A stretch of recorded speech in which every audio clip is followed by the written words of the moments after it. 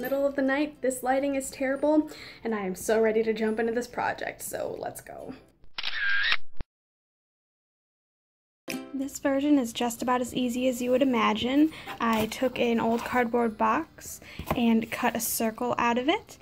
Uh, the way I got the size of the circle is I found this template online um, and I printed it off and used that to trace out my circle, cut it out, wrote everything that I wanted on each side on it, and added the little chore wheel sticker in the middle. That's a uh, chalkboard sticker. I just Lastly, I super glued a piece of magnetic tape to the pack so it would stick to my refrigerator. The ends can get kind of messy on this, so I would suggest lining it with some sort of glitter glue, or I also would recommend uh, stringed pearls or uh, gems or something just to clean up the edges, but I think this one works fine for me.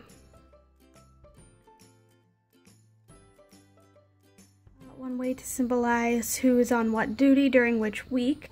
You could always use clothespins to mark up each side. The method that I'm currently using though is the magnet method. I found these really cute magnets that came with a dry erase board I got. I wrote the names of all of my roommates on each of them and as the jobs switch you just switch the magnets. Uh, there's also this option for this cute spinning chore wheel, which I made out of mostly cardstock. You could decorate it pretty much however you want with stickers and etc., but it will actually spin and all the names of your roommates will all be on it and all the chores as well. So what I did to start this one is I took four pieces of cardstock in four colors that I liked, and I split them into fourths and placed them together into basically new sheets of paper with the different quarters and I taped them together at the sides. From there I found something circular in a smaller size and a larger size and I traced out the circles on each portion. Once you have your hole cut out, you're going to fold it in half and with a hole punch, make a hole in the center. Set it to look like this.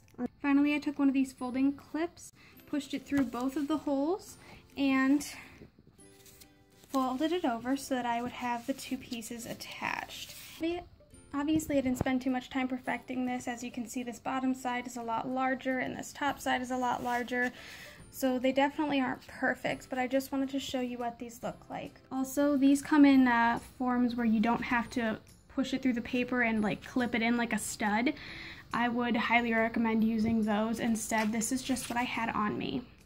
With a little extra time and effort, this could be a really cute thing and extremely useful when you have uh, roommates for the first time at college or really whenever you think you're to need the motivation to finish all your chores.